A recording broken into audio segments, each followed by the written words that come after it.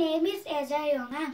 from class 3, section B, House Korishoka. Ah. Today I am reciting the poem The Tiger written by William Blake.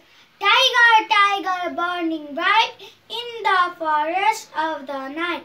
In what immortal hand or I could frame thy fearful symmetry. In what distance deeper sky, deeper sky burn the fire of thin eyes. On what wing dare he aspire? What the hand dare seize the fire?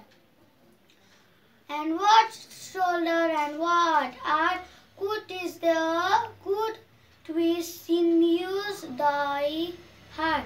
And when thy heart began to beat, what did hand and what did feet?